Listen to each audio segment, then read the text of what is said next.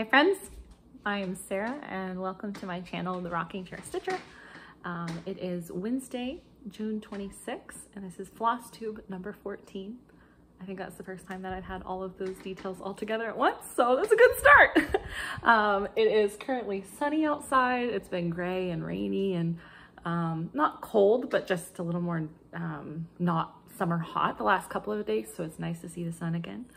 Um, my son just went down for a nap, so we'll see how long I get here. I have several things I want to show you guys, um, and I'm excited to show them. A uh, little life update. We're still in Nova Scotia. Our house is not sold. We've had a handful of showings since last time. Um, and some people leave reviews like with their realtor to pass on to our realtor and they like the house, they rate it highly, think the price is right, all those things. Um, but they find something else while they're searching and don't pick our house. So it has been um, like three-ish weeks, I think, since my last floss tube, and June has been so sweet. um, I can joyfully report that my heart is peaceful, which is saying a lot because the spring was heavy and a lot of weight and a lot of stress and anxiety and a lot of things going on there. And just the last couple of weeks have been so peaceful and sweet. Hard things still happen and are still going on, but um, I'm learning a lot about just enjoying today. Um, and I'm not gonna cry. um, but we were just spending a lot of days out at the um, little kiddie pool in our yard and I lounge in the chair and, and stitch fill in mostly so I can be real present with my son and he plays in the water table in the kiddie pool with like literally an inch of water, but it's it's his level right now and he's loving it. Um, yeah, so it's been sweet. Josh is off next week um, for a whole week. So we talked about going on a trip, maybe to Cape Breton or elsewhere, but there's been a lot of stuff going on in our life and we've traveled a lot, although not for vacation so much, but we're ready just to stay at home and do a little staycation. So next week we're gonna do a staycation. Um, we're gonna go to this farm slash history place that Josh has always wanted to go to. We just never made time for it. I think we're gonna spend an afternoon at the splash pad that just opened in our town. Uh, we're gonna have a Canada Day slash 4th of July celebration if I can get my ducks in a row. um, so I'm really excited for that. We used to do this before um, the days of COVID and because I'm from the US and Josh is Canadian and uh, Canada Day is July 1st and then Independence Day for the US is July 4th.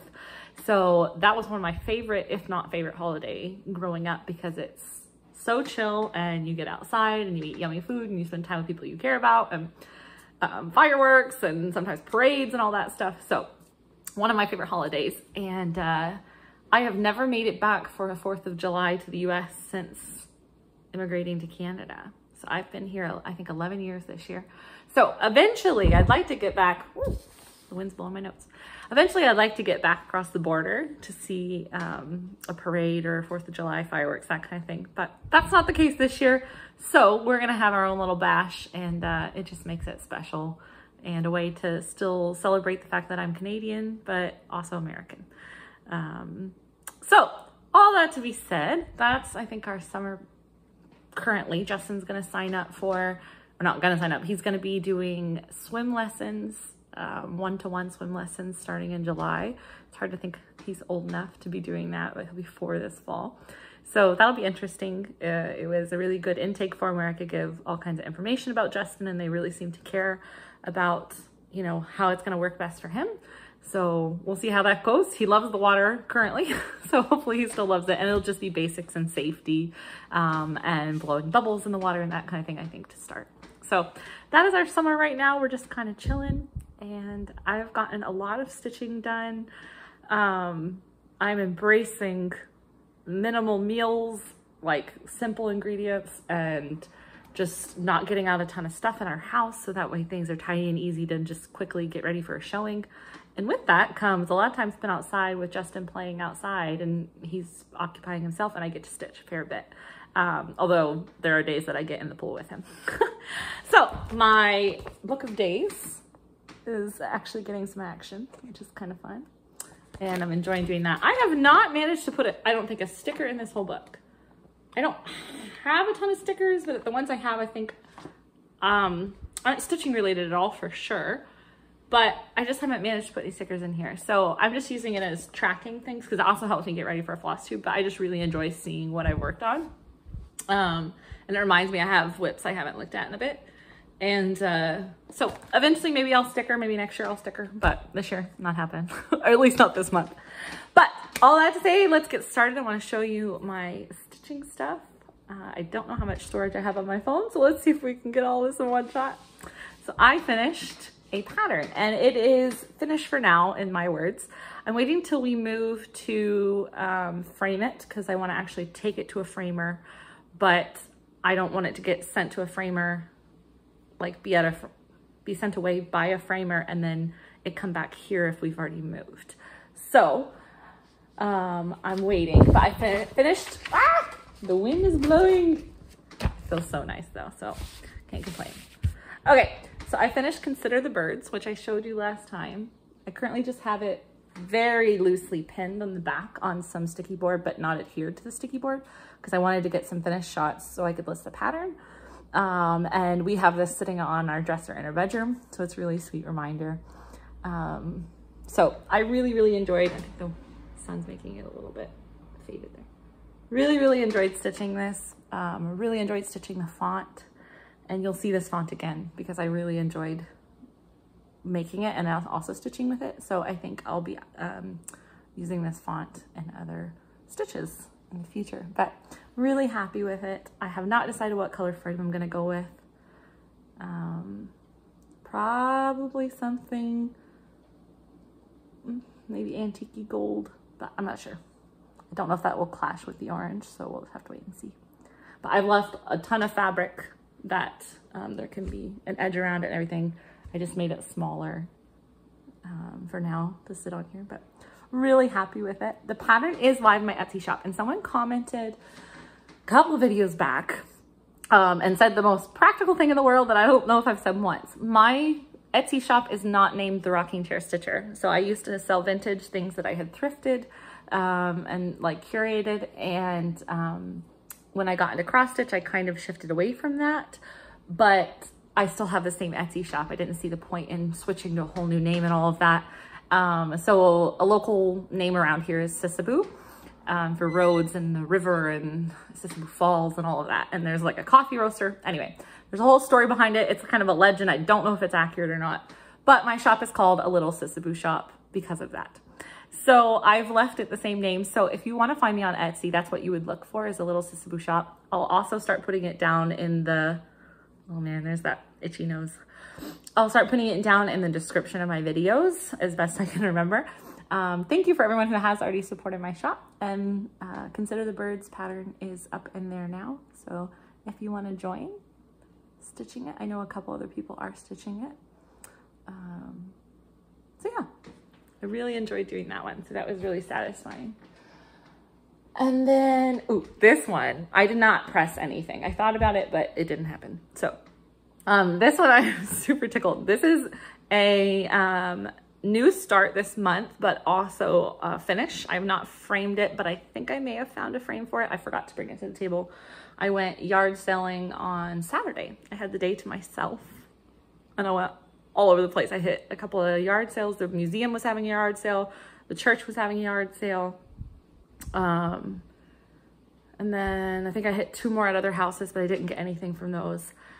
And uh, had lunch out by myself, like, and then I got my groceries and stuff, but it was really sweet. Anyway, I think I found a frame for it, but I'll show it to you next time if it works. But this is, put my book of days behind it here. This is Pride and Prejudice by Stitchrovia. I saw Sarah um, from Me Sarah stitching this and I was like, oh, I have to stitch that. And it really stitched up fast. I don't think I used the called for colors. I think my green might be different and maybe my pinks. The blue, actually, I don't know if any of it is the same except for maybe the brownish green that the Pride and Prejudice stamp is. It was so much fun to stitch and I will be looking more at their patterns because I think they do more in this kind of font. Um, I've mentioned it once or twice before. My plan is to eventually have a wall of book quotes and movie quotes and TV show quotes that are like our favorite, but in cool stitches. And uh, So this is the first one. so I absolutely love it. I think it's so pretty how they did the font. I love how the flowers kind of come up through. When I think of someone being bewitched, I almost think of them like a, a spell cast on them. Like they're just kind of entwined and they can't do without or they can't get out. They have no control.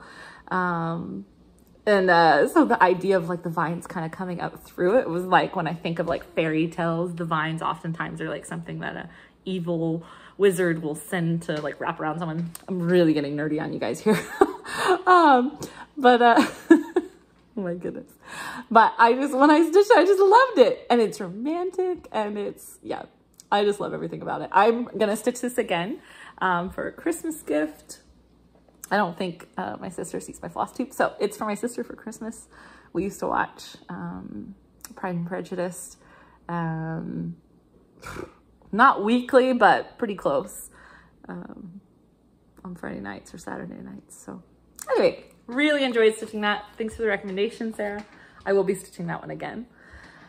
Um, what do I have next? I kind of just made my piles today. My goodness, my nose is itchy. Um, okay, so I have another new start. I talked about this in haul last time. Excuse me. In haul last time because I have a new um, niece coming and um, I'm just gonna cover up the bottom of this because it has some of the pattern information I don't think I'm supposed to show. Maybe the top too. And just print it off the image off of the cover. So this is called, it's by Historical Sampler Company, but it's called Flower Birth Sampler. Look at these coming in handy here. So it is gorgeous and it has a lot of confetti and it is the most satisfying thing I've stitched in quite a while besides the Pride and Prejudice stitch because each, I get what people are talking about like on Quakers, like how each section, each motif is so satisfying. And I don't think this qualifies as a Quaker, um, but um, it is really satisfying. So I will show you my progress. All of this happened in, I think, a morning, no, I stitched one or two motifs in a morning when he was napping or something. And then one evening when it first came. Um, so I am stitching this on a 16 count. Just looking here at the rest of the fabric. 16 count ivory Aida from 123 Stitch. So this is the rest of it, um, which I actually somehow managed to purchase two of. and I don't think I had an intention for buying two for that I can remember. But I absolutely love it. It is so satisfying to stitch. It's so cute. And I think it's gonna make the perfect little baby girl sampler. And I honestly kind of want to stitch like some more bluey colors in there instead of the pinks to make it for Justin maybe too. I have one that I showed you months ago that I got for Justin. And I just don't know what I think of it. It's cute, but I just don't know if it fits. So I haven't decided yet. But I think this might be too floral for my style for his room. And you know, that whole like idea of not like making everything for your child match your style as much because his room's blue. Like nothing else in my house is, is painted like blue other than my cupboards. Um, it's like a baby blue, but it's like, it's okay if you have bright, colorful things that don't all match your beige house. so this would be more aesthetic from his room, but the one with the bear and the mountains and that kind of thing is probably more kid like boyish, whatever. Anyway, probably too far into my head over analyzing this one. Um, but for my niece, I'm really excited to be stitching this one. So I've still got a couple of months. Um, so yeah, that one's really pretty. And if you're looking for kind of a more elegant, traditional looking, not traditional looking, but more cottage core, I don't know, looking birth sampler, I would highly recommend this one, Historical Sampler Company. So that is my first new start slash, I think at this point I would call it a whip. Um, I never know in my starts versus whips pile, at what point when I've started something in between floss tubes, but I get a lot done on it. At what point is it really a start anymore or has it moved into the whips pile? But I'm like, if I haven't showed it to you as a whip or a start before, I think it qualifies as a start.